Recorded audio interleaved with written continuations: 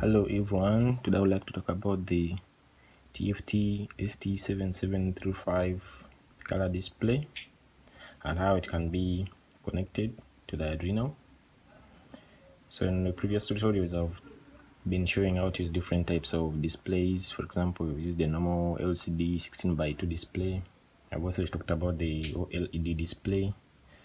There even these 7 segment displays but sometimes you may need to have some colored feature that you want to display. So this kind of display comes in a bit handy. So let's have a closer look at it. So this is our display here. Don't know whether you can see the labels properly. Okay so from here you can be able to see how we're going to make the connections. This these displays usually come in various sizes and sometimes might even have a few other pin pins labeled here. But these are the general pins that are present in all the displays. So in most cases you're going to find you have side you have a ground pin. So that is going to be connected to the ground as usual. Then you have the VCC this VCC can be connected to the 5 volts because this display has an onboard regulator because the display uses 3.3 volts. So you can connect it to the 5 volts of the Arduino and it will work. However I usually recommend using the 3.3 volts pin out just to keep it as the best practice. So you have to take note of that for the VCC then you have the clock. The clock goes to pin 13 of Arduino board and then the data pin goes to pin 11 the only thing I have to note about these two pins is that you shouldn't change the configuration of the pins.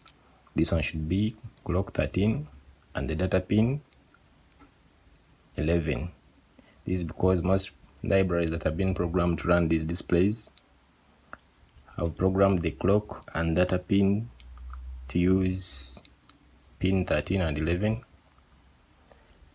correspondingly therefore you shouldn't change that configuration otherwise the display may not work. Then you have the the reset pin. You have this DC pin and then the chip select. These ones you can choose any digital pin to connect them and then you have to specify which pins have been connected in the code as I'm going to be showing there. Then you have this backlight pin. However in this case we don't usually connect it. We don't usually need the backlight. So I'll just leave it there. So the main pins will be ground VCC clock data reset DC and chip select. So from there you can have a close simple look at the kind of code you're going to be using for this kind of display. So before you can be able to write our personal code we to first test whether the display is really working properly. And that is done using the example codes from the library that you are going to be installing. So you need to first check whether you have that library in our IDE and do that you simply go to you go to sketches then you go to include library then you go to manage libraries. From here you can be able to access all the libraries that you have in your IDE and simply just look for the Adafruit ST7735 library. So just type here to simplify the work. 77 yeah so this is the library that you want.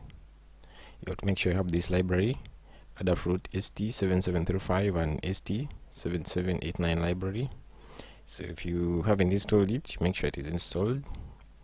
You can install it from the Adafruit website. I'll put the link in the description for the video so you can check it out. So after installing this then you can be able to access the examples that you can use to check out our display.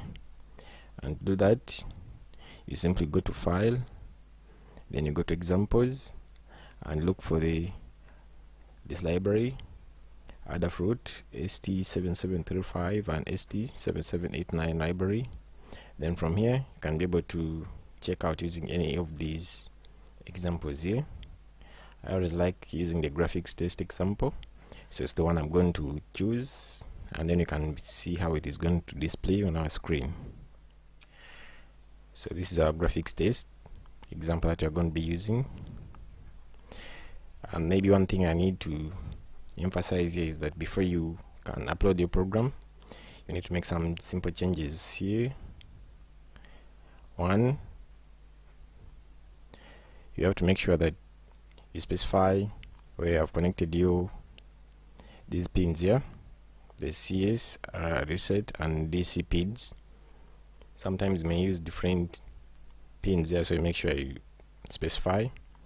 But make sure you don't change the clock and data pins. They have to be on pin 13 and pin 11 of your Arduino board that you're using because those ones are programmed within the library so you shouldn't change their configuration.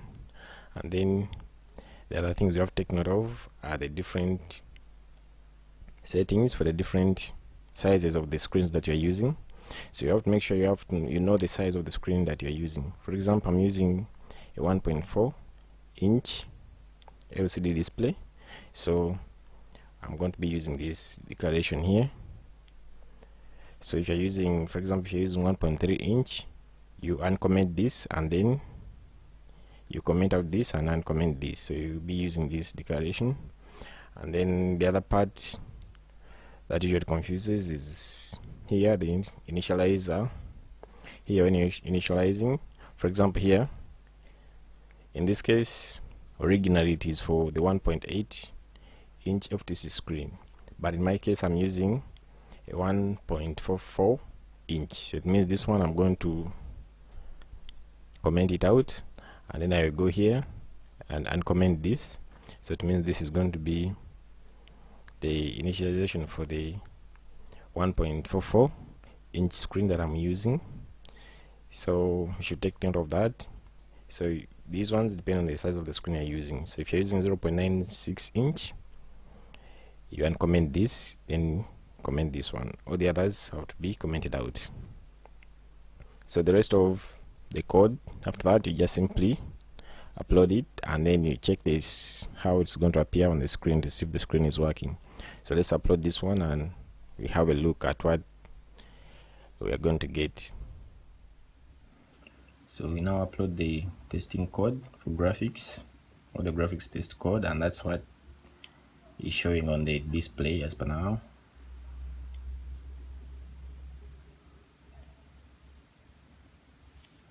You choose different figures and shapes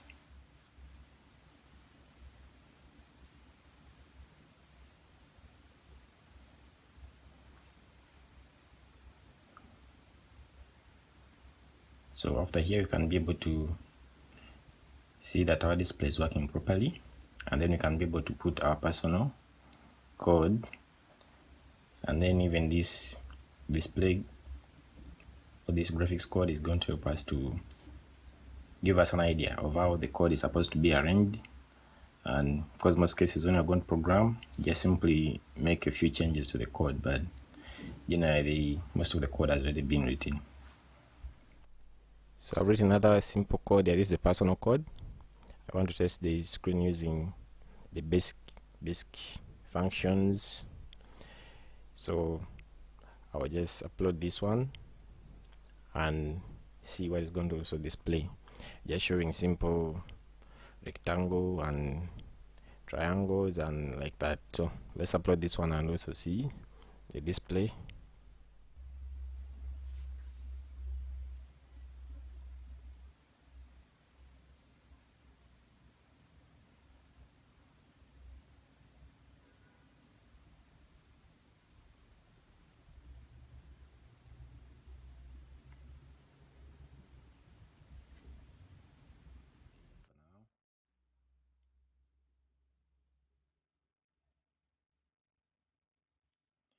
choose different figures and shapes.